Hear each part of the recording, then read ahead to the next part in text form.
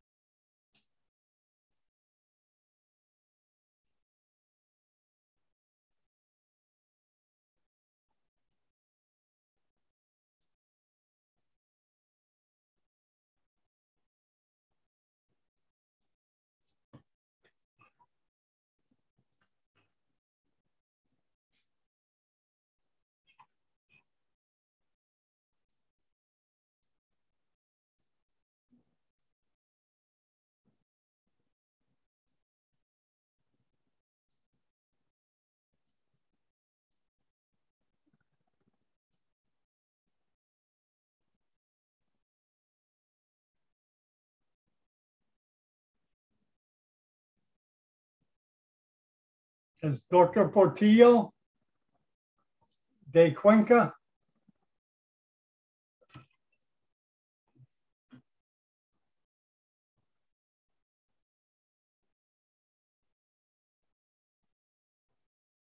Jorge, ¿es tú de Cuenca?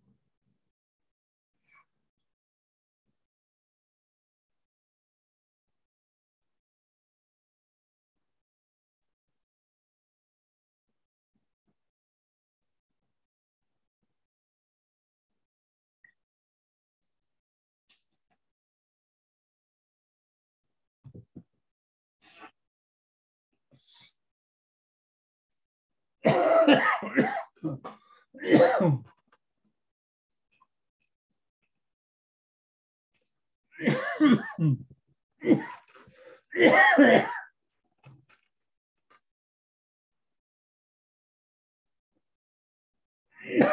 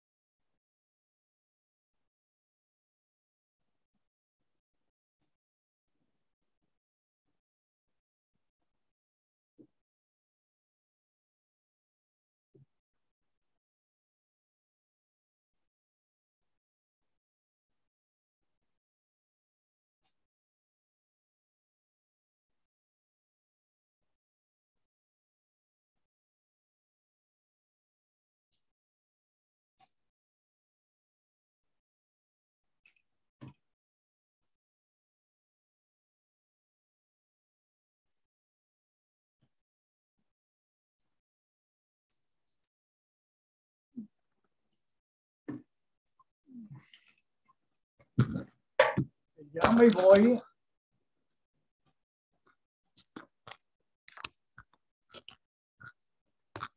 Ah. Buenos días. De que me saca el background.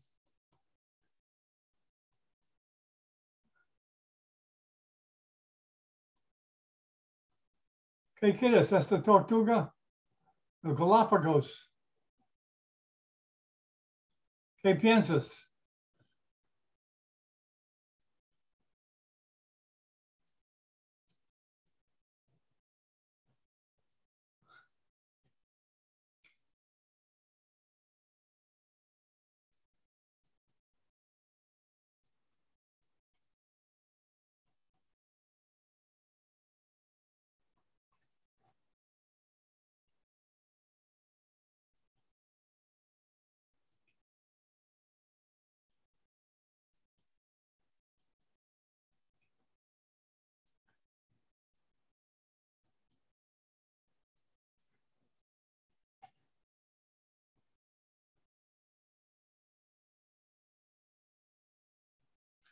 Can you guys hear me? Is my microphone working?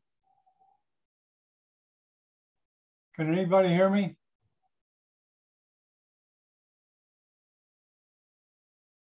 Hello, can anybody hear me?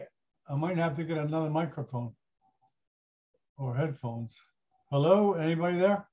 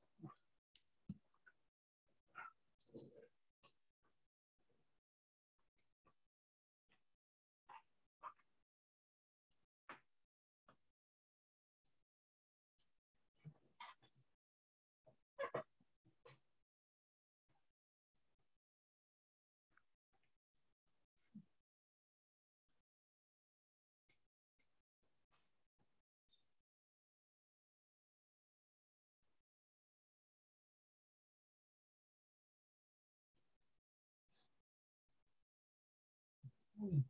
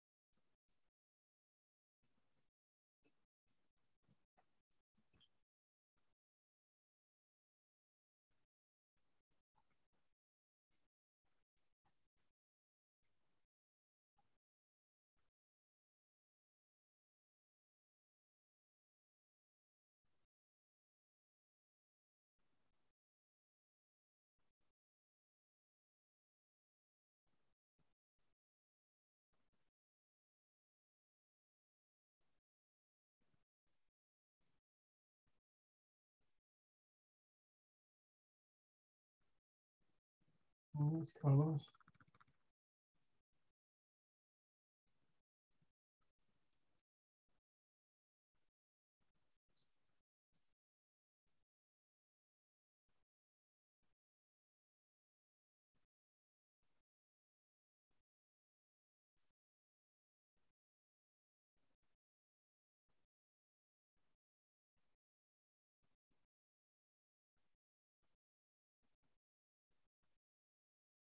Hey, Carlos, are you there? Oh, there you Hello. are. How you doing? Hello, John. How you been? ¿Cómo estás? Bien, bien. Buenas tardes a todos. O bu- Ocu- buenas tardes, ¿no? ocupar- ¿Ocupado? No mucho. Hoy no. Oh, ok. Mira, ha tenido un buen congreso esta mañana con Borba. Estuve conectado un momento. Me conecté unos 20 minutos. Oh, ¿tú has visto? Sí, Sí, sa- sí, sí. sabes que más que 300 gente en la pelea. Bueno, bueno, pero, pero es que había gente, estaba, estaba Luis, ¿no? Luis Borbá, Sí, Luis y uh, Almefti. uh, Almefti, sí, él está, uh, sorpresa, sorpresa Ujú, al venido, al último minuto. Pero su nombre es Oro. Bueno, yo creo que la gente también eh, cono- les conoce muy bien y tiene muy buenas referencias, entonces, Sí, es bueno, muy bueno. Uh, con Víctor, Víctor Hugo Pérez Pérez, ha hecho neuroanatomía. sí, sí, vi esa, la vi. Eh, yo vi la, unos 20 minutos de, o, o 10 de, de Luis Borbán. Oh. Y luego tuve que desconectarme porque tuve que hacer otra, otra cosa. Ok, de- déjame uh, ver dónde está. ¿Cómo se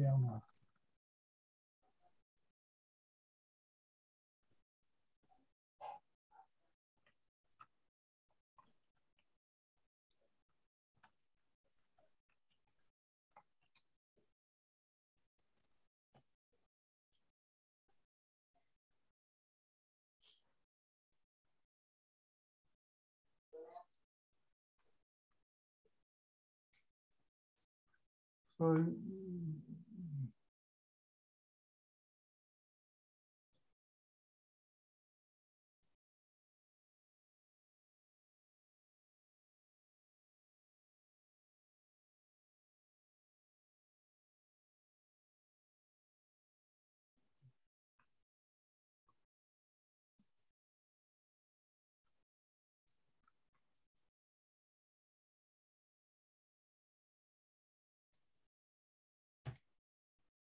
Soy- ¿Qué?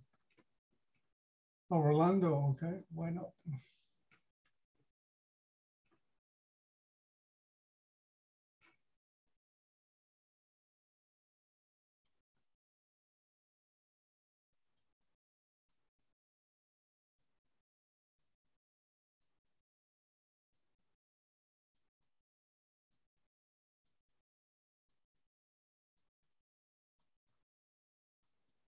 Sí, Carlos, estamos eh, formando un grupo de neurovascular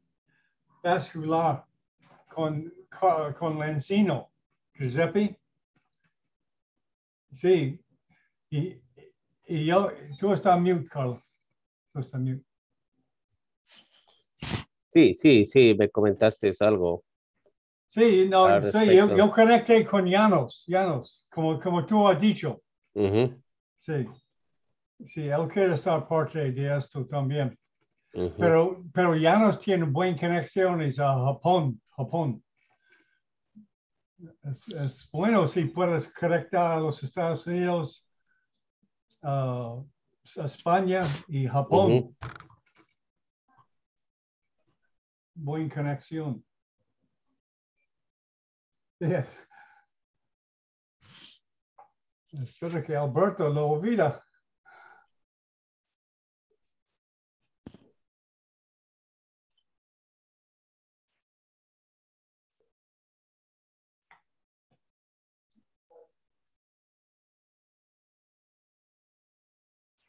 Tú vas a ir a Ecuador otra vez en, en el futuro? Mm, es un poco difícil la, la, la, la situación por el problema de la... mm, ¿O COVID? eh, sí, sí, por el COVID. Eh, son las posibilidades de, de viajar, facilidades, dificultades que existen. Entonces, un poco es bastante de- difícil la parte logística. Eso Oh, hace ok. que... Qué bueno. Hola, Natalie. Hola, buenas tardes, doctores. ¿Cómo Buenas están? tardes. No, oh, Alberto Borghi, aquí está. Oh, Sí, entró. ah, esperando. Ok, eh, yo voy a, tú vas a introducir a Carlos, ok, eh, Natalie? Como hace dos semanas ha hecho, ¿verdad?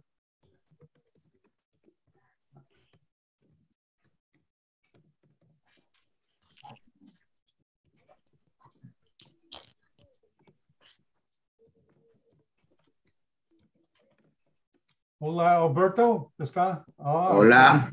Hola, ¿cómo estás? Hola. Carlos, bienvenido. Muy buenas tardes, muy buenas tardes. ¿Qué pasó? ¿Se me ausentó usted en la vuelta de sesiones? Ah, eh, el, cambio de horario, el cambio de horario. el cambio de horario. El cambio de horario y, a último momento es un poco difícil. Un poco difícil. La, la, próxima, la próxima vamos a hacerlo al horario de España y acá nosotros nos vamos a sacrificar un poco. No, no, no. No es necesario, no es necesario. Eh, un término medio siempre va bien. es bueno escucharlo, bueno, bueno, bueno verlo también. igualmente. ¿Cómo está el frío por allá? Bueno, el tiempo mejorando mucho, mucho. Está mejorando. Ahora, ahora, está mejor el tiempo, sí. Bueno. Eh, allá en Nueva York está que se congela. Sí, la, la, la, verdad es, por ejemplo, cuando hace frío, hace frío. Los tiempos de tiempos que vivía en Hungría y ahí en la Navidad era blanca, nevaba en enero, en febrero. Era hermoso. Bueno, cuando cae la nieve no, no tenemos frío, pero después después que deja de caer la nieve y corre un poco de viento, eso, e, ese, ese frío corta. Así es, así es. Así mm. Bueno, gusto tenerlo, ¿no? Bueno. ¿Listo? ¿Listo, Alberto? Listo. Ok, 10, 9, 8, 7, 6, 5, 4, 3, 2, 1. Oh, lo siento, lo siento, lo siento. Uh, ok, Natalie, cuando quieras. Ok, bien. Buenas tardes, queridos asistentes. Mi nombre es Natalie Solefuentes, estudiante de quinto año de medicina en Guayaquil, Ecuador. Bienvenidos a esta cuarta semana a nuestra serie de miconatomía quirúrgica del seno cavernoso. Les doy la palabra al doctor Carlos Yumiguano, quien es nuestro moderador y nos va a presentar el tema del día de hoy. Muy buenas tardes. Eh, nuevamente felicitarles al, grupo de Neurocirugía TV, en especial a todo el grupo de apoyo que está teniendo Latinoamérica, en especial a vosotros, Natalie, y por qué no decirle, eh, tener el placer de poder presentar al doctor Alberto Valareso con este tema tan fabuloso que nos tiene, ¿no? Una región pequeña de la, de la, del cráneo, pero muy, muy extensa y muy importante saberlas con, muchas, eh, con muchos secretos que nos pueden llevar y como el día de hoy tenemos un, hermoso tema eh, acerca de una parte, una región del seno cavernoso. Pues doctor Valareso, muy buenas tardes. Eh, los micrófonos son suyos. Bien, buenas tardes. Vamos a compartir pantalla.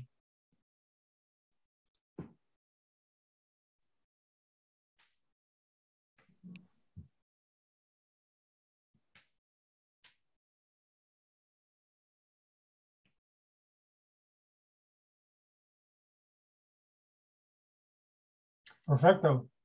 Ok, perfecto. Un segundito. Un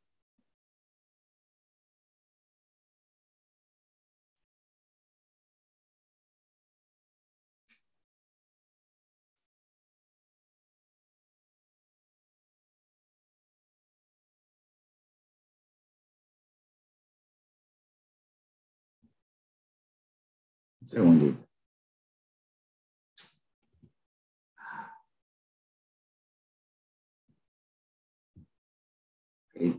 Perfecto. Ahora sí. Bueno, el, tema a tratar el día de hoy va a ser, como dijo el doctor eh, corresponde a una área muy estrecha, que es la área, perdón, corresponde a un área que corresponde a los anillos carotídeos y a los pliegues durales paracelares. Eh, primero, eh, esta imagen es una imagen clara y precisa de lo que corresponde a la complejidad del el desdoblamiento que hace la dura madre a nivel de la región celular y la región paracelular. Inicialmente tenemos aquí nosotros en una, en una base de cráneo estructuras óseas eh, que son muy importantes para que la dura justamente venga y se produzca este, esta inserción o estos repliegues durales como tejido de sostén para la formación de de estos estos pliegues. Ahí tenemos, por ejemplo, el caso de la apófisis eh, clinoide anterior, tenemos eh, en este sector, podría ser la apófisis clinoide media, cuando existe la misma, tenemos la apófisis clinoide posterior, la parte del dorso celular, tenemos la parte del lápiz espectroso, tenemos la parte de la língula esfenoidal que se encuentra en esta parte aquí, ¿por qué no decir parte de la fosa media también? Obviamente, tenemos la, la parte este, medial, de la fosa pituitaria, ¿no? Estas son zonas, pues, si ustedes se dan cuenta, son prominencias anatómicas eh, que justamente son el sitio eh, donde viene la dura a insertarse y a desdoblarse o a replegarse o a unirse, de tal forma que viene y nos da como resultado esta formación dural. Aquí tenemos, ya lo hemos visto en otras imágenes también, podemos ver nosotros la zona de la apófisis espinosa, perdón, la apófisis clinoide anteriores, y tenemos aquí este repliegue, uno de los primeros repliegues, que es el repliegue, eh, el ligamento petroclinoideo anterior. Y este corresponde al ligamento petroclinoideo posterior. Tenemos aquí el tallo pituitario, el diafragma celular, tenemos el ligamento eh, falciforme, que le da cobertura justamente en el momento de la entrada del nervio óptico hacia el canal óptico. Eh, las carótidas internas supraclinoideas, el óculo motor, el techo del, del seno cavernoso. Para una una explicación mucho más didáctica se clasifican a los pliegues durales de la siguiente manera. Pliegues durales propiamente dicho, que serían, como hemos comentado, el ligamento petroclinoideo anterior, el ligamento petroclinoideo posterior, el ligamento pasiforme. Y a los pliegues interdurales, como tenemos el ligamento interclinoideo, el ligamento petroespenoidal posterior que corresponde al, al ligamento de Gruber, y el ligamento petroespenoidal este, anterior, que correspondería a la área del, ligamento petrolingual, el ligamento petrolingual. Estos interdurales, por obvias razones, porque este se encuentra inmersa dentro de, de, de, entre la dura madre cerebral o propiamente dicho y la dura industrial. Por eso estos son considerados como pliegues, pliegues durales o interdurales realmente y los pliegues durales que lo que hemos documentado. Aquí tenemos el caso del ligamento petroclinoideo anterior y el, y el posterior, una vista superior de la parte del, del, techo del seno cavernoso. ¿Qué características tenemos de esto? Tenemos, en el caso del ligamento petroclinoideo anterior, corresponde a un engrosamiento dural que está distribuido o formado por fibras durales de la pared superior del seno cavernoso y de la pared lateral del seno cavernoso. Y este en la, anteriormente viene y se abren fibras para luego fusionarse o recubrir lo que corresponde a la punta del, del proceso clinoideo anterior dorsalmente, dorsalmente, así como medial y lateralmente. Y luego en confundirse con lo que corresponde a la dura de la fisura orbitaria superior, que correspondería a este lado de acá. Posteriormente, el ligamento petroclinoideo anterior, en cambio, se eh, eh, continúa con el, el borde libre del territorio, que sería en esta parte de acá. Este ligamento eh, petroclinoideo anterior tiene una longitud de 17.06 más menos 1.40 milímetros aproximadamente. Y tiene, eh, en cambio, que el ligamento petroclinoideo posterior es un ligamento eh, menos, menos eh, visual, menos demarcado, podríamos decir y que corresponden a la fusión de la dura madre de la pared superior junto con la dura madre de la región petroclival, que corresponde a esta zona de acá. Entonces aquí hace un engrosamiento y este medialmente va hacia la parte del, del, proceso clinoideo posterior y lateralmente va por debajo a formar parte de la insección de lo que corresponde a la insección de la, de la dura madre de la punta del peñasco, lateralmente. En este caso, la longitud es de 11.03 más menos 3.8 milímetros aproximadamente. Esto es, importante también comentar eh, en el caso de estos dos ligamentos, el nivel o existe un desnivel entre el ligamento, entre el ligamento petroclinoideo eh, anterior y el ligamento petroclinoideo posterior. Esto es después de haber hecho la disección de la pared superior del seno cavernoso podemos ver la continuidad del ligamento petroclinoideo anterior tal y cual, hacia adelante, luego de haber drilado la parte del proceso clinoideo, como por encima viene y luego la, medialmente va a formar parte, digamos, se confunde en la punta del, proceso clinoideo anterior y luego vendría a formar parte eh, la dura madre las clinoides medialmente del, anillo distal, que luego ya conversaríamos de eso. Y el ligamento petroclinoideo posterior, igual de la parte de que viene del proceso clinoideo posterior y también en este caso, ya después de haber hecho la liberación de la pared superior, podemos ver el verdadero engrosamiento de lo que corresponde a este ligamento.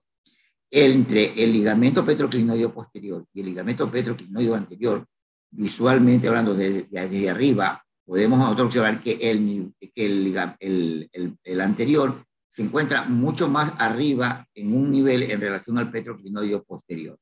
De ahí que hay una, tenemos un engrosamiento que más o menos la profundidad del ligamento anterior de 0.5 más menos 0.3 eh, milímetros. Y el, y, el, y el posterior, la profundidad de 1.5, perdón, aquí este, es que hay una equivocación. Y el posterior, una profundidad de 1.5 más menos 2.8 milímetros. El ligamento falciforme. El ligamento falciforme corresponde a un repliegue dural que se encuentra formado parte, que forma parte de, un borde libre de la dura madre que viene del plano efenoidal y lateralmente de la parte del tubérculo cerebral y medialmente del, proceso clinoideo anterior. Tiene una, una longitud eh, de 7.9 milímetros con un rango de 6.58.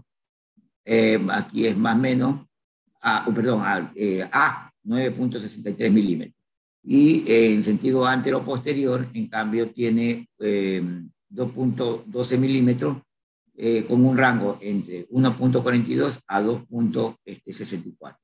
Este, repliegue es muy importante medialmente en lo que respecta a la fusión, que, perdón, lateralmente en lo que respecta a la fusión hacia la dura madre del proceso clinoideo anterior. Aquí podemos ver el ligamento petroclinoideo anterior como sus fibras, tanto mediales como laterales, forman un verdadero cono o engrosamiento en la punta de la clinoides y su relación por debajo del óculo motor que se encuentra por encima del, del forame del óculo motor. Por eso es cuando habíamos comentado sobre el nervio oculomotor, realmente el óculo motor, su entrada o su trayecto no es, no es este, no es superior, el, el, no es un trayecto de la pared superior, sino lateral, de la pared lateral del seno cavernoso, en el sector infraquinoideo, de lo que corresponde al nervio oculomotor. Tenemos la carótida interna, tenemos la pared superior del seno cavernoso, la, la, la membrana superficial, tenemos el proceso clinoideo anterior y el ligamento falciforme en este caso. Seguimos. Esta es una vista, eh, una vista este, lateral del ligamento, eh, del ligamento petroclinoideo anterior, en la cual se ve justamente cómo se fusiona y cómo se encuentra luego delimitado en la parte superior por el anillo medial, y ya luego lo vamos a ver. El ligamento interclinoideo que ya vamos a conversar, ligamento interclinoideo, lo que respecta a la parte del, del anillo distal, la arteria ostálmica, la arteria carótida, el nervio oculomotor, y el triángulo que habíamos comentado en, en, la, en el área clinoidea, que correspondería al espacio clinoideo anterior, está, eh, después de haber retirado esta membrana, la comunicación directa entre el espacio clinoideo y la, la porción intracavernosa. Y tenemos la parte de la, de la membrana eh, oculocarotidia, que corresponde a, a, esta membrana de aquí, que luego el borde libre va a formar parte del anillo medial, que ya lo vamos a comentar. Ahora hablemos del ligamento interclinoideo. El ligamento interclinoideo es, o sea, asimismo, un pliegue dural que viene del proceso clinoideo posterior y va por debajo de la membrana de la pared superior del seno cavernoso para venir a, o llega hacia la parte de la cara inferior del proceso clinoideo anterior y literalmente este se fusiona luego con, con el anillo proximal que ya lo vamos a encontrar acá. Este, que este es el ligamento, suele ser transparente o nacarado, como lo observan aquí en ciertas ocasiones, está levantado. En esta imagen podemos verlo de una mayor claridad al ligamento petroclinoideo separado de la membrana profunda de la pared superior del seno cavernoso. Como podemos ver nosotros aquí el, el, el componente cavernoso, el seno cavernoso, la parte del componente venoso eh, superior del seno cavernoso el proceso clinoideo anterior. Y lo más importante, vemos nosotros aquí cómo este se distribuye desde el proceso clinoideo posterior hacia o por debajo del proceso clinoideo anterior. Se llama ligamento interclinoideo. No se fusiona con la pared superior. Eso es muy importante.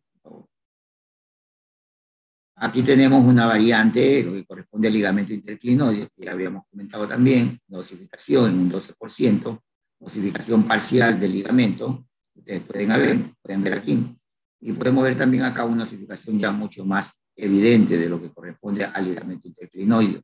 Prácticamente viene a ocupar casi todo el triángulo oculomotor, el triángulo oculomotor de la pared superior del seno. Igual aquí mismo vemos tabiques intercavernosos o paracelares, superiores en este caso. Tenemos lo que corresponde acá a la parte del, del, ligamento, pero osificado.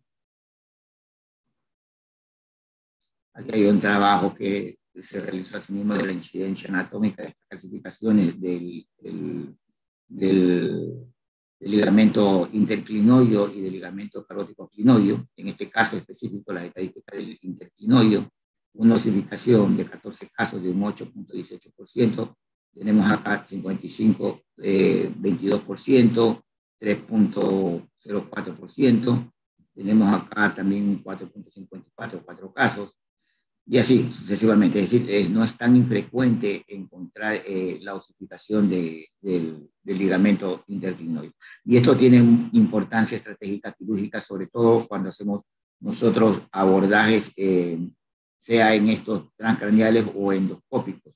Eh, y incluso eh, se sugiere en muchas ocasiones que por la, la, incidencia de osificaciones de estos ligamentos, deberíamos de evaluar bien prequirúrgicamente las características de, de, de, estos sectores anatómicos, es decir, las osificaciones que podrían existir. Porque obviamente el conocimiento del mismo nos van a permitir que durante la cirugía se pueda, producir cualquier tipo de complicaciones. El ligamento petroesfenoidal, tenemos el ligamento petroesfenoidal posterior o de Gruber y tenemos el ligamento petroesfenoidal anterior. Posterior, que corresponde a esta parte de aquí. ¿Por qué he querido dar esta imagen, que es muy importante?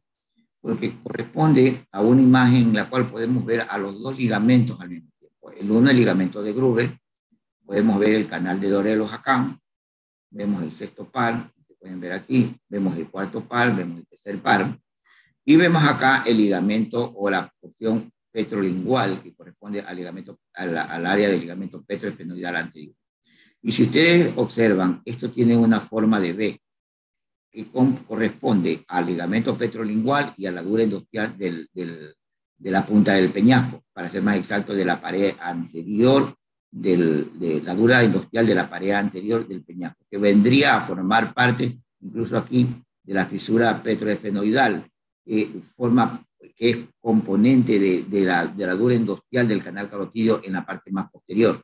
Entonces aquí tenemos el ligamento petrolingual, tenemos, eh, eh, tenemos el, la punta del peñasco, la porción anterior, la dura industrial, y entre ellos vamos a encontrar una, una imagen en forma de B. Y esto es muy importante por lo que vamos a recolocar a futuro.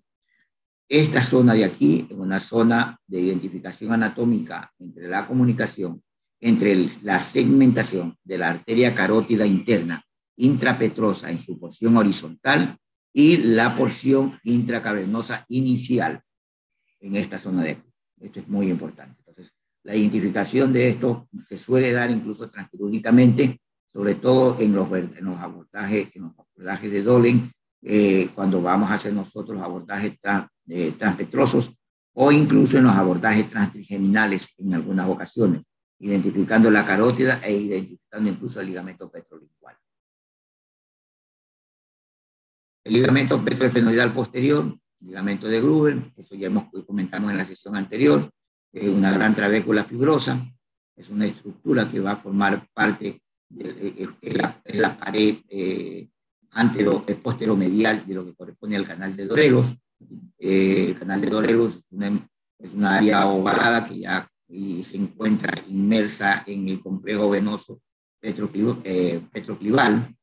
Y vemos aquí el sexto par entrando hacia, la, hacia el seno cavernoso tenemos el ligamento de Gruber, tenemos la punta del peñasco, tenemos la meningia dorsal con su rama lateral y lateral y medial.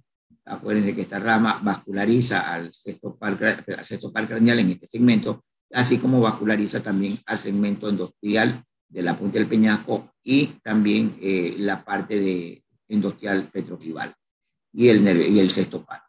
Aquí tenemos algunas de las medidas. Es una gran trabécula fibrosa, considerada como una gran trabécula fibrosa por algunos autores y que realmente no necesariamente significa que es un canal, sino que es una trabécula grande, fibrosa, inmersa en el plexo venoso petroclival. La forma, forma de mariposa. En nuestro trabajo, en el 100% encontramos nosotros la forma de mariposa, otros hablan de un 78% de forma triangular, 22% en, forma triangular. Este, las medidas, inserción medial 4.58 más menos 2.2. Inserción medial correspondería a esta zona de aquí que corresponde a la inserción y a las fibras que vienen a formar parte del, del parte más inferior del proceso clinoideo posterior, la parte del dorso celular, incluso parte de la, de la, del sector de la de la fisura petrofenoidal. Y en cambio, la parte o la inserción lateral, que es en la parte endostial de la cara posterior de la punta del peñasco, se puede observar en esta zona de aquí, tiene una medida de 4.38 más menos 1.8 milímetros. Otros autores hablan de 4.2 más menos 1.6. La inserción medial de 4.58 más menos 2.2 milímetros. Otros autores hablan de 6.1 más menos 3 0.2 milímetros. El punto medio, es decir, la zona central de este ligamento es de 2.75 más menos 1.73 en nuestro trabajo.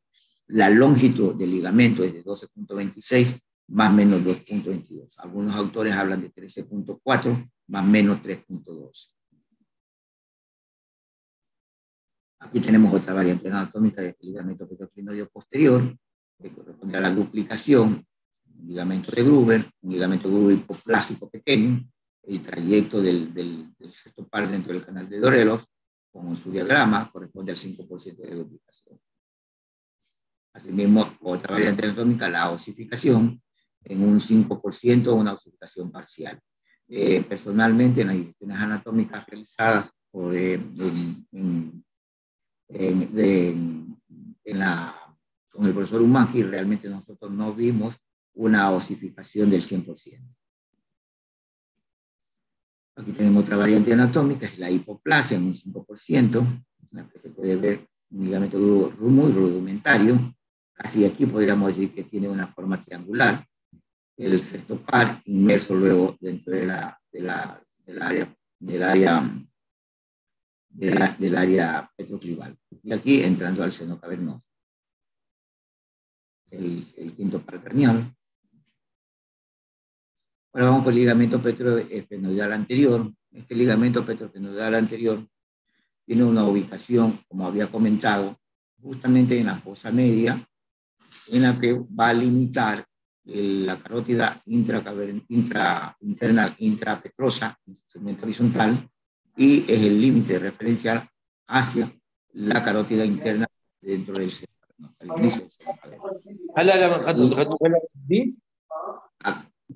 Aquí claramente, aló, aquí claramente podemos observar nosotros otra vez la forma en B, en la que vemos el ligamento petrolingual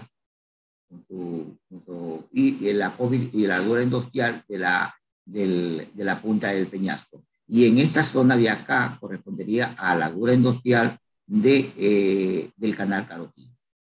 Podemos vernos un repliegue muy fuerte, nacarado, eh, en, qué, en qué área está ubicado, justamente a nivel o por encima del foramen glacero. La forma, en forma de B, eh, parte sagital, que correspondería a esta, es la parte del ligamento petrolingual, y la parte transversal, que correspondería a la dura, a la dura endostial antes mencionada. Las inserciones del ligamento petrolingual, es decir, de la, de la par sagitalis, tendríamos posterolateralmente la parte anterior del borde superior del piñasco, en esta zona de aquí, y anteromedialmente en esta zona un pequeño, eh, pequeño, eh, una pequeña prominencia ósea que corresponde a la língula estenoidal, por eso se llama el ligamento petrolingual. el sexto par craneal, el cuarto par craneal. Este es un corte transversal de la carótida justamente en ese sector, dándonos otra vez la forma de B. Aquí tenemos nosotros la configuración endostial de la, de la par horizontales que estaría dado por fibras endostiales de, de la impresión del trigémino o membrana obturatriz, tendríamos las fibras industriales de la cara superior del, del labio petroso, que corresponde a esta zona de acá, y tendríamos las fibras industriales del canal carotidio y de la estructura petroespinoidal, que se corresponde a esta. Esto forma parte del componente del ligamento petroespinoide eh, anterior. Eh, Dolen le llama eh, también este, anillo, anillo carotidio lateral, que es muy importante, porque da la impresión que fuera también un anillo que realmente se forma aquí, rodeando a la carótida. Las medidas, tenemos que el ligamento petrolingual eh, tiene un diámetro de 7.7 más menos 0.6 milímetros, perdón. Tenemos la longitud eh, de 10.92 más menos 0.9 y la altura de 1.2 más menos 0.4. ¿Cómo eh, eh, eh, podemos identificarlo de la vía en, la cirugía? Justamente en el triángulo anteromedial del seno cavernoso que corresponde entre B1 y B2. Aquí tenemos el ligamento petrolingual nacarado, este, el agregase, este B2, este B3, Aquí podemos ver el B2, B1, vemos el ligamento en su inicio, en inserción en la porción de la, de la, de la fosa media, en la región eh, posiblemente aquí de la eh, lingual, esta es parte del ligamento, vemos la carótida, vemos el sexto par craneal. Anillo dural, signo interrogación. Otra visión microquirúrgica, desplazando justamente la, el B2 y podemos ver nosotros un verdadero desdoblamiento, un verdadero repliegue de la dura madre del ligamento petrolingual. Vemos la arteria carótida, vemos los nervios este, simpatéticos carotidios en esta zona de aquí. Acá, habiendo, retirando la parte de la punta del peñasco, podemos ver la carótida interna intrapetrosa, aquí la carótida interna este, intracavernosa, el sexto par. Vemos aquí otro ramo simpatético que se anastomosa con el sexto par podemos decir, así mismo podemos ver un verdadero repliegue que existe aquí con la fusión hacia la parte de la dura industrial del canal carotidio.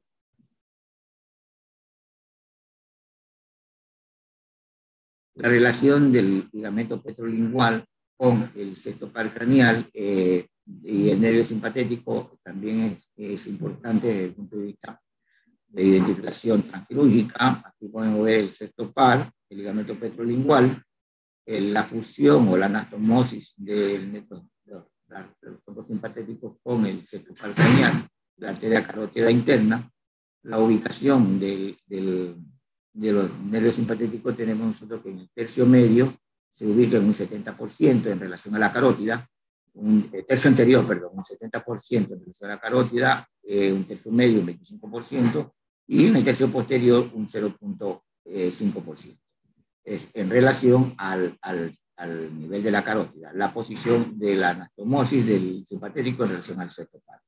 La distancia eh, entre el, el sexto par craneal y el borde libre del ligamento petrolingual es aproximadamente de 2.88 más menos 0.6 milímetros. Aquí podemos ver esto que corresponde a la arteria del seno cavernoso inferior, que es la que viene, eh, suelen ser en algunas ocasiones únicas, en otras ocasiones pueden ser eh, eh, de dos hasta de tres en ciertas ocasiones, que vienen y luego se vascularizan justamente la dura madre de esta zona, así como también el sexto par en este sector en ciertas ocasiones. El ligamento petrolingual anterior y el área del seno cavernoso, luego de sacar todo lo que corresponde al, al nervio trigémino, podemos nosotros ver claramente cómo el, el, ligamento petrolingual viene a abarcar una imagen, una área, una de todo lo que corresponde a la zona del seno cavernoso.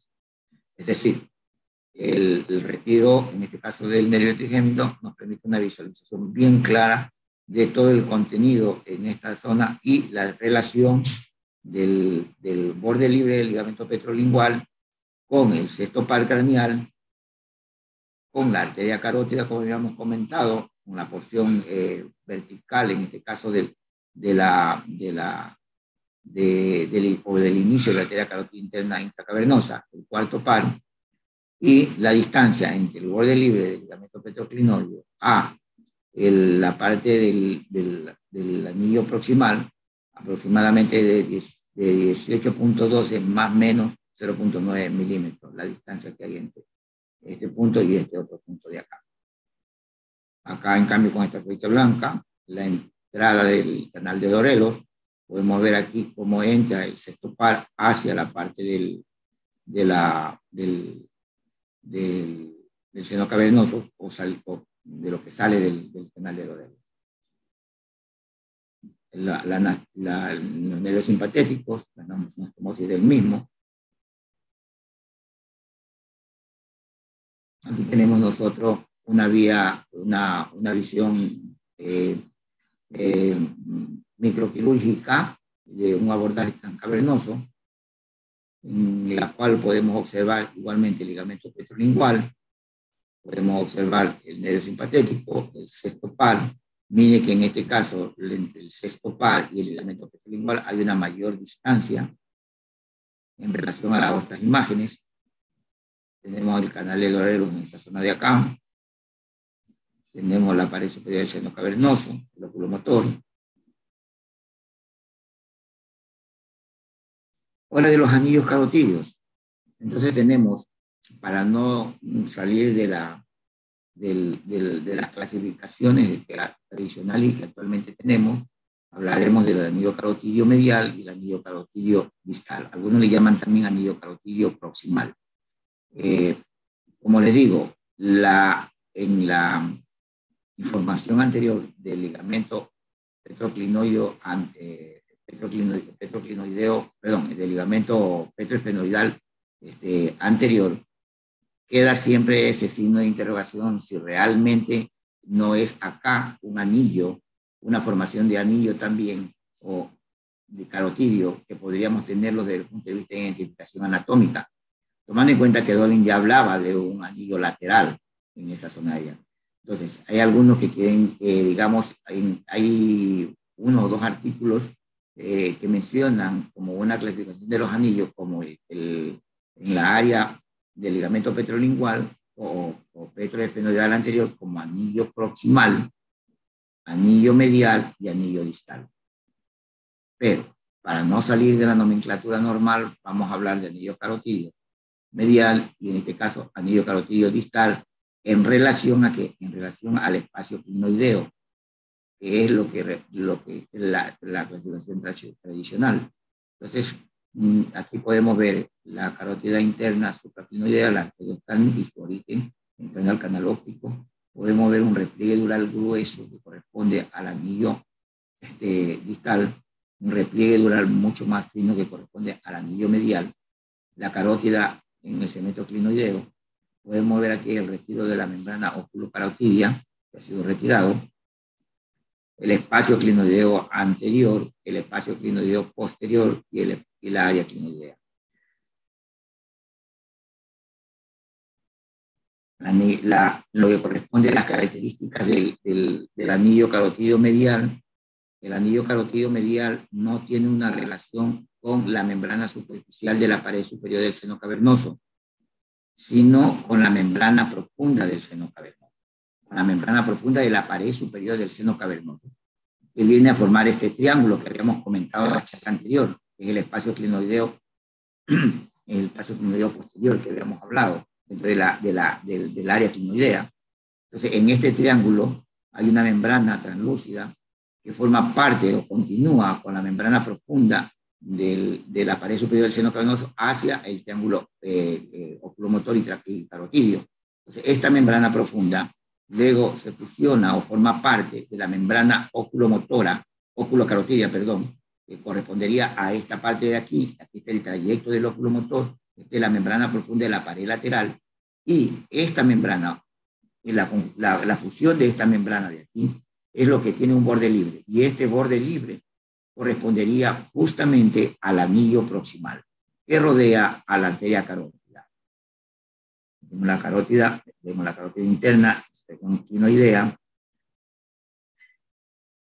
Tenemos el triángulo. Aquí podemos ver, luego de haber retirado esa membrana, la comunicación directa con el, el seno cavernoso.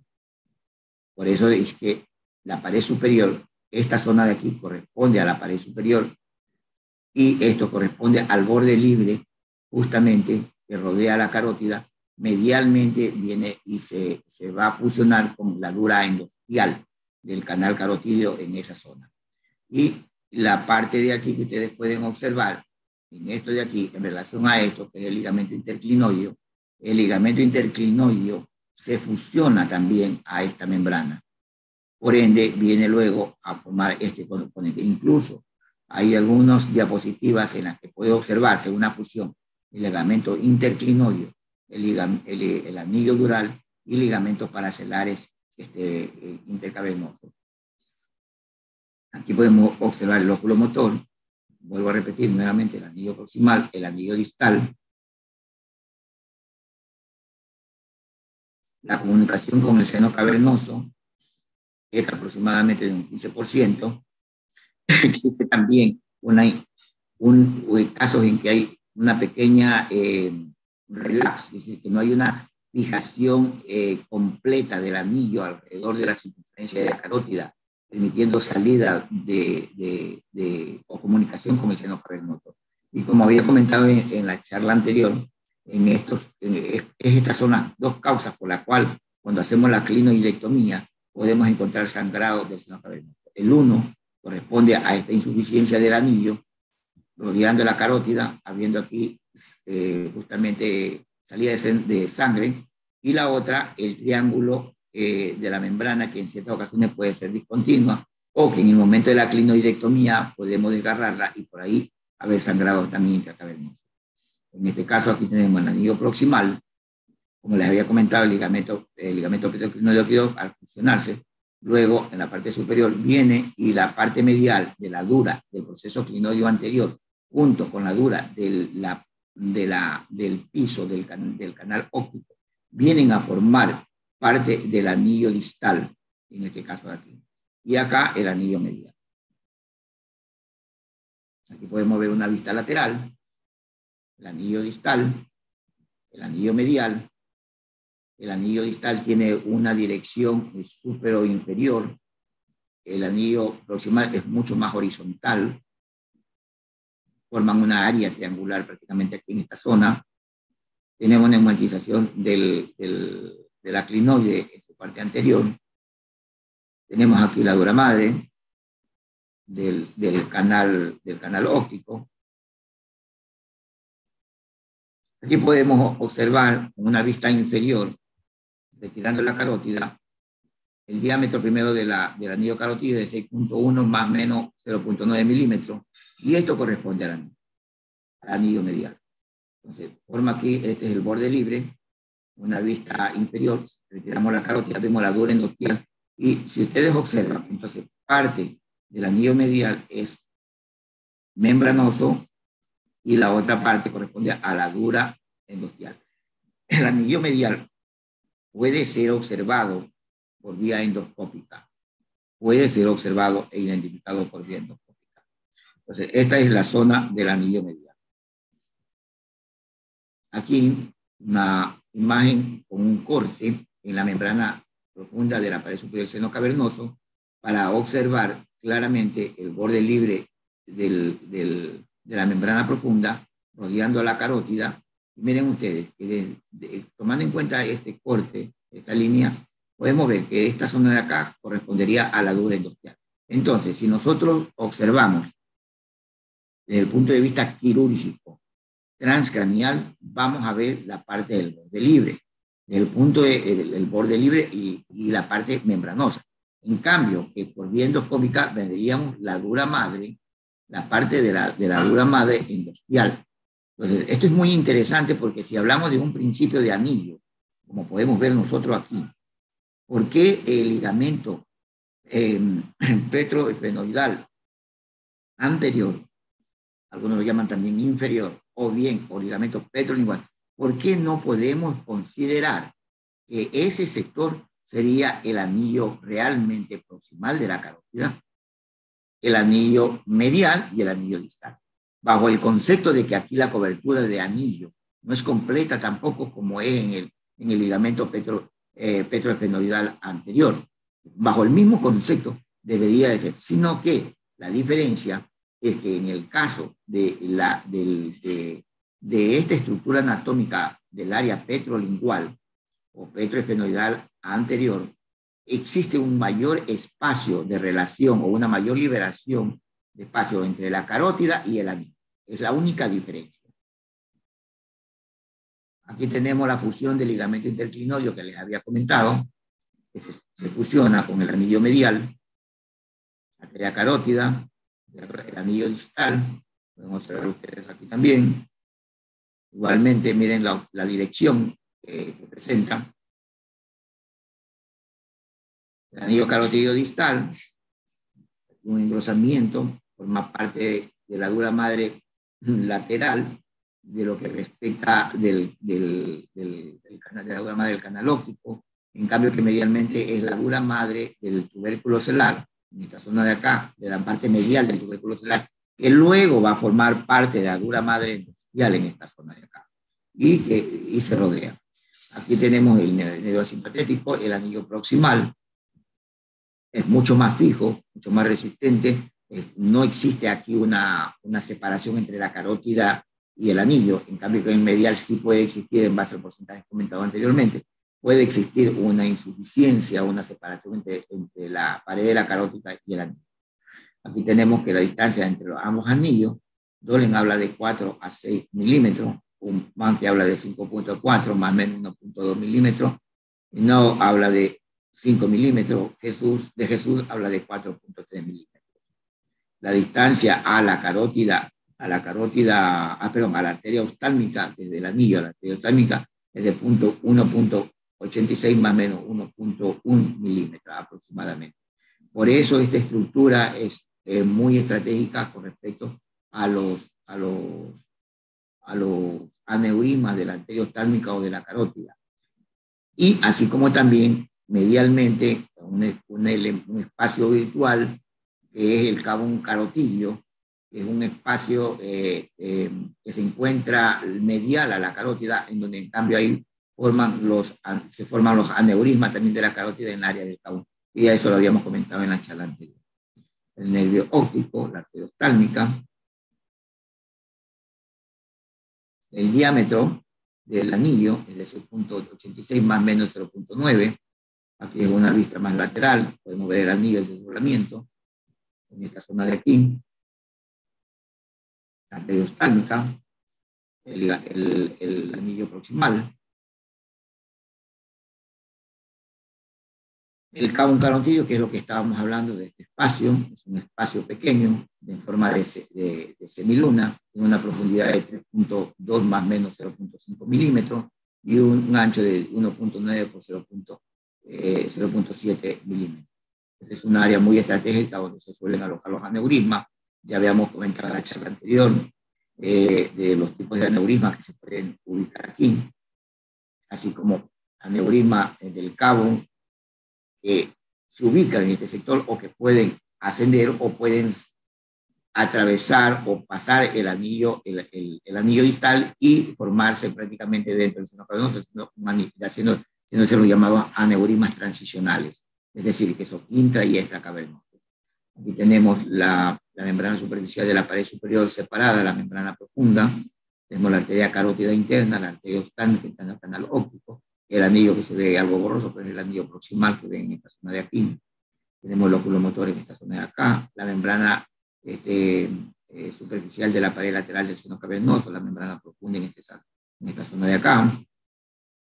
Aquí, con una separación de la carótida, vemos mejor la parte del, del, del, del cabo carotidio. Y ahora la membrana, hay una membrana transicional entre ambos anillos. Este, Roto lo llama collar carotidio. y corresponde a una membrana de tejido laxo, que puede ser completa o incompleta, y puede ser incompetente en el sentido de que en ciertas ocasiones en esta zona, como habíamos comentado, puede este, no, estar, no estar completa y comunicarse con la parte del seno cavernoso. Tenemos competente en 30%, incompetente en, en, un 70%.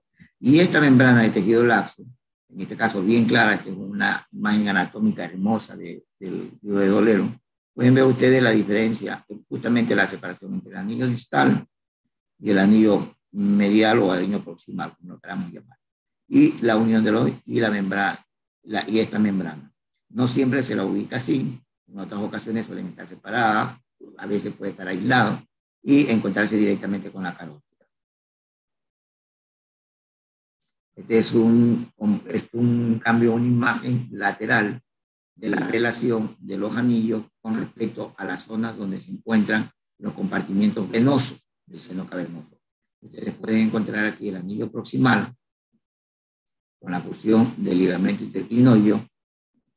Encontramos aquí este sector triangular que correspondería a la zona del, de los senos, del seno, eh, compartimiento venoso superior del seno cavernoso. Esto pues correspondería al, al compartimiento posterior del seno de, venoso del, del, seno cavernoso y este es el compartimiento lateral de venoso del seno cavernoso. Eh, medial obviamente no lo vamos a ver porque eso está entre la pared medial del seno cavernoso eh, y la carótida. Y aquí podemos ver unas estructuras anatómicas, como ustedes pueden ver, la arteria oftálmica, esta es una imagen muy bonita. Vemos la, el, anillo, el anillo distal, el engrosamiento del anillo distal que tiene, que separa la carótida supractinoidea de la crinoidea. Tenemos el anillo proximal, tenemos el ligamento interclinoideo, tenemos la membrana obturatriz que rodea al oculomotor, tenemos el cuarto par craneal, dirigiéndose hacia la fisura orbitaria. Tenemos el sexto par craneal, desde la entrada a la fisura orbitaria hasta la salida o la entrada al seno cavernoso del dolor canal que se encuentra en esta zona de acá. Tenemos el ligamento petrolingual, el lápiz, el, el petroso y esta zona. Eso es todo.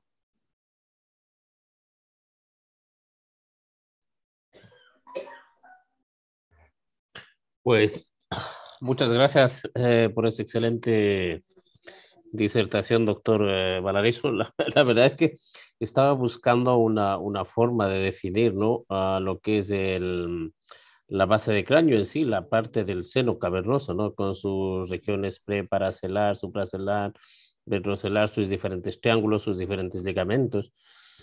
Eh, hasta cierto punto me puse a pensar cómo podríamos explicar eso, ¿no? Eh, con lo tan complejo que es, pero con lo tan interesante al mismo tiempo.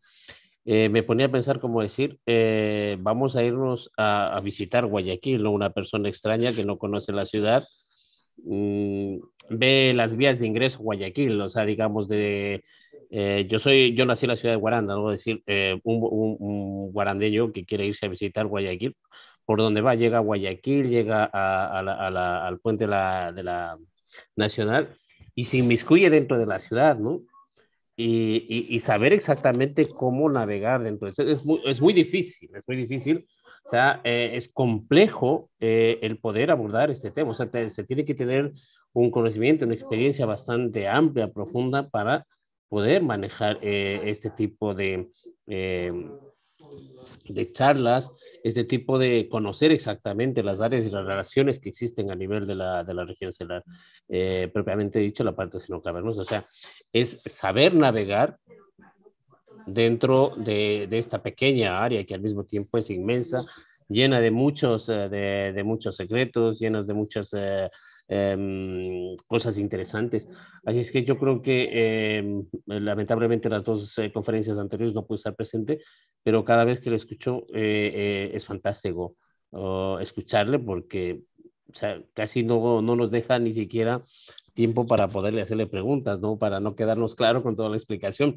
Sin embargo, abrimos oh, la discusión a todo el panel y a los participantes. Pueden hacer preguntas, en directo, en voz, o puede escribirnos a través del chat y lo hacemos llegar al doctor Valareso.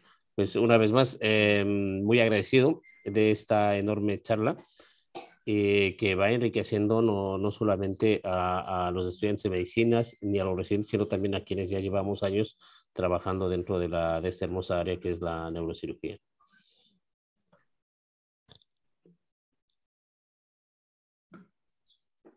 Vamos, Osari, vamos a hacer preguntas. ¿ah? ¿Alguna pregunta?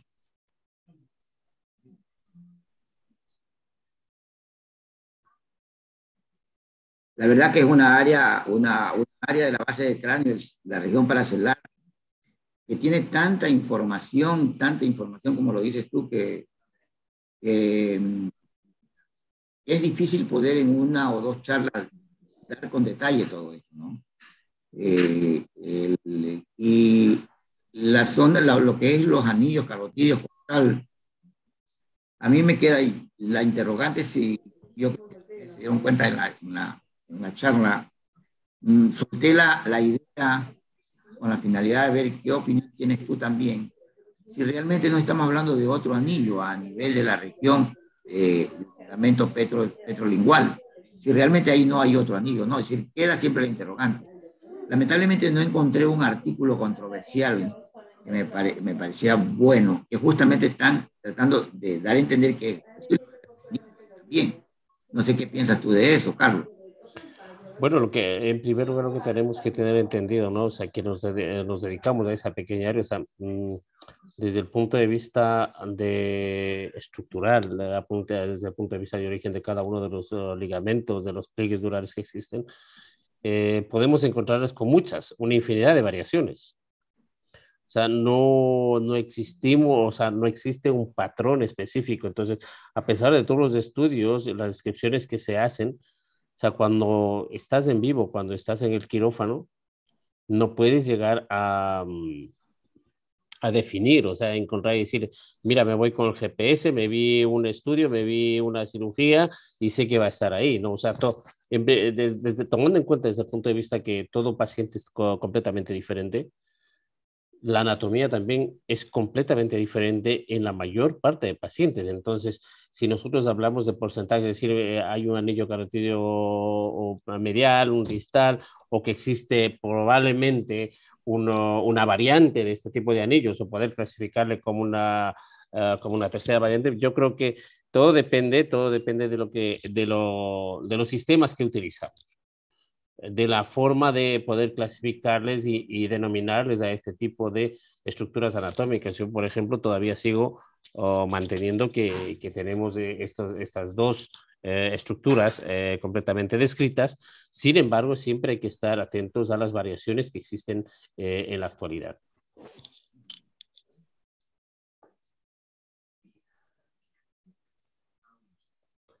algún, algún panelista, algún, alguien que, que, nos, eh, que pueda hacerle llegar una pregunta doctor, algo que no ha quedado claro, o alguna, mm, algún acotamiento a, la, a, esta eh, preciosa conferencia que nos ha dado. Muy caro hoy.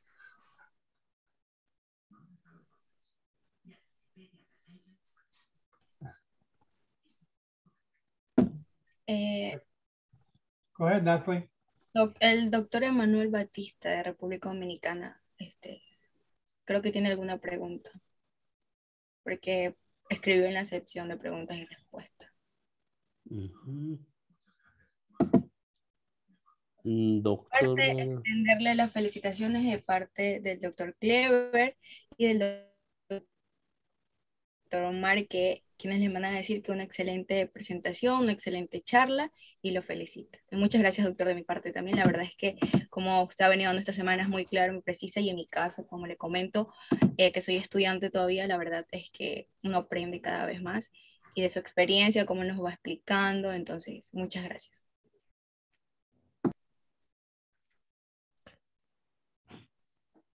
A ver si... Ya, la, las, las, esta zona es, bastante, debe ser bastante conocida, sobre todo para los cirujanos, no solo de base de cráneo, sino los de los vasculares. por el asunto de las posiciones, de las localizaciones de los aneurismas en relación a los anillos.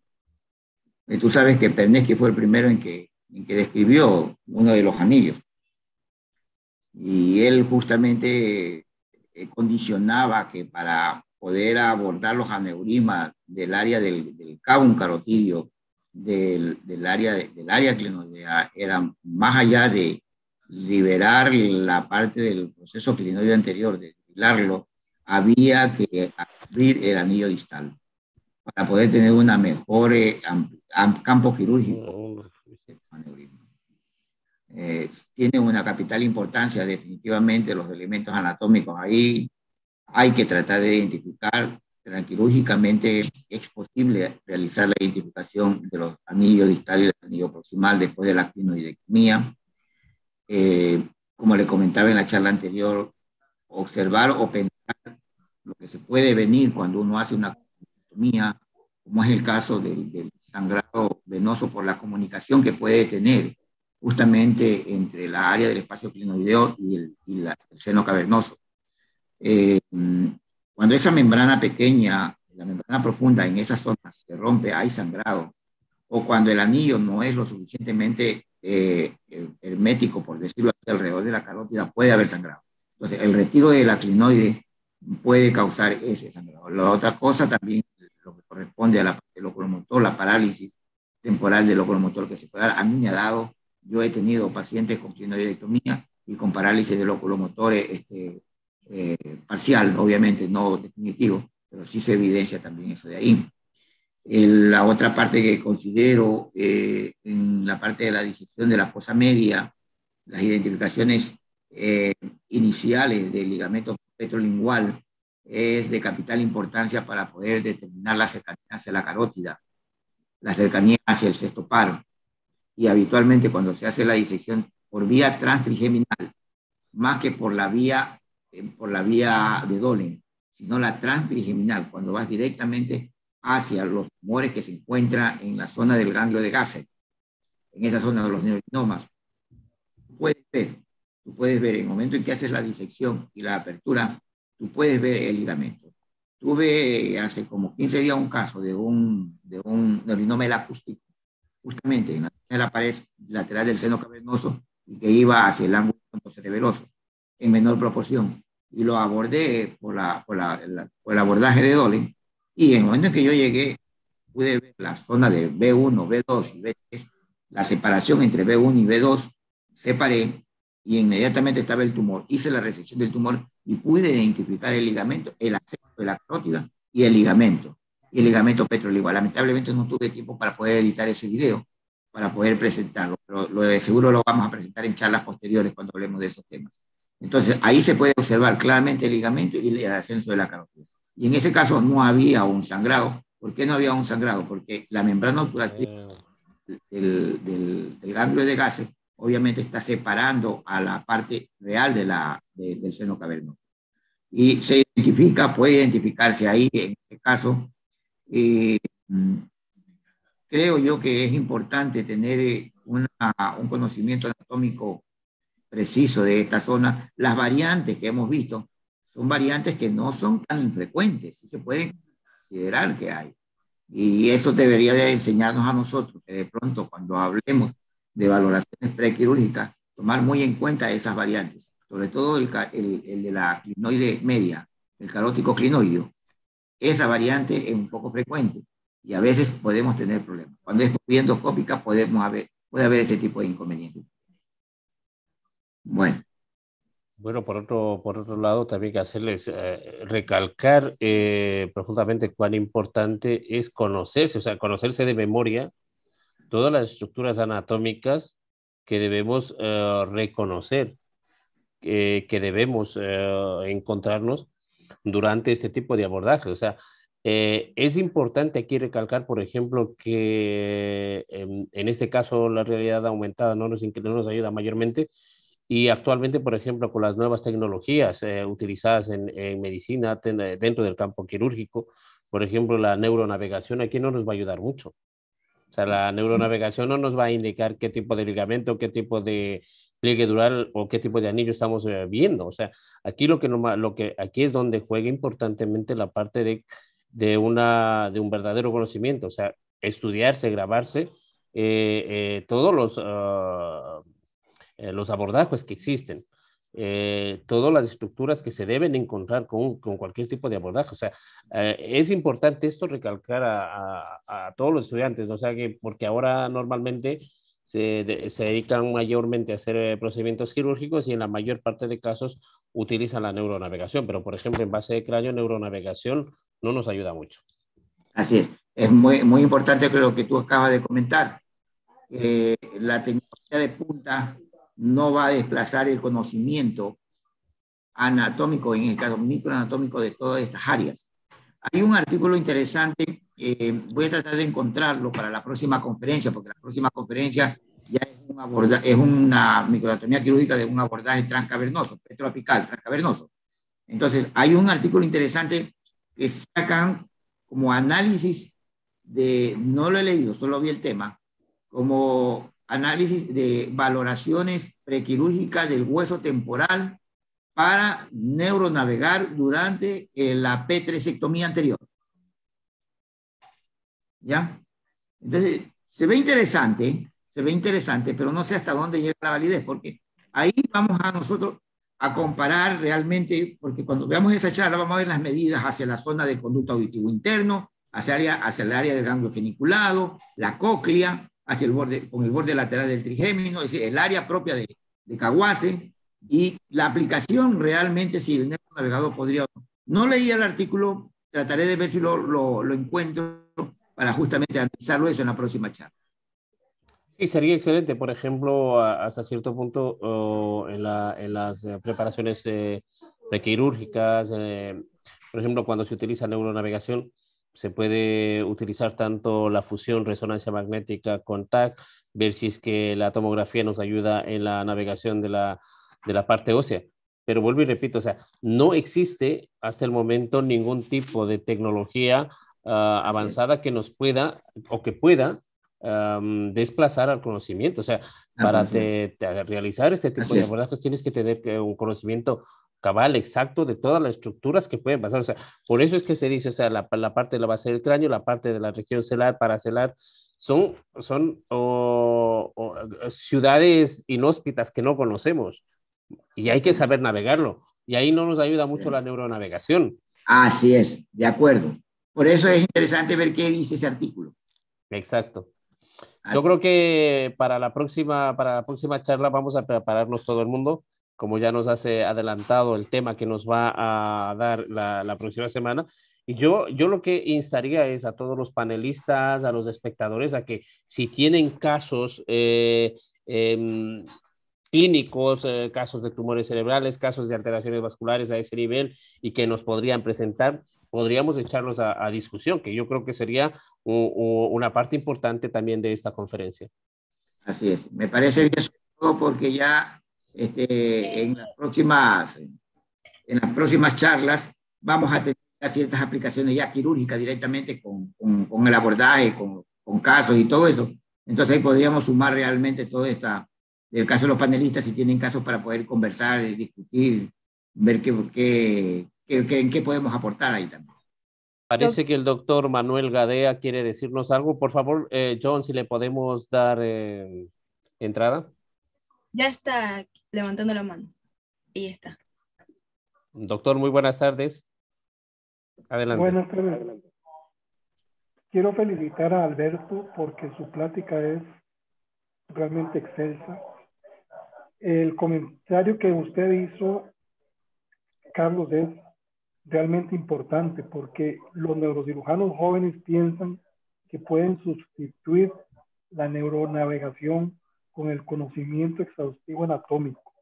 El conocimiento exhaustivo anatómico solo se adquiere con horas y horas de práctica en el laboratorio de microcirugía y solo se obtiene realmente estudiando la microanatomía. La región clinoidea con todas las estructuras neuroanatómicas y neurovasculares las relaciones es importantísimo. Si uno quiere hacer cirugía base craneal o si uno quiere hacer cirugía neurovascular en esa región, tiene que pasar horas desvelándose estudiando neuroanatomía. Muchas felicidades Alberto, muchas felicidades Carlos, muchas felicidades a ustedes que tienen el programa este que es realmente excelente. Gracias, Mucha, Muchas gracias, muchas gracias doctor Cadeo. ¿Alguna otra persona que quiera acotarnos algo? Yo creo que... Eh, Jesús.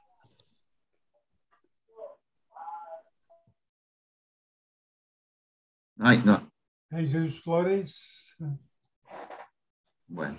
Simona Lima. Sí, Jesús, el doctor Jesús Grijalva. Adelante, por favor, doctor. si le puede.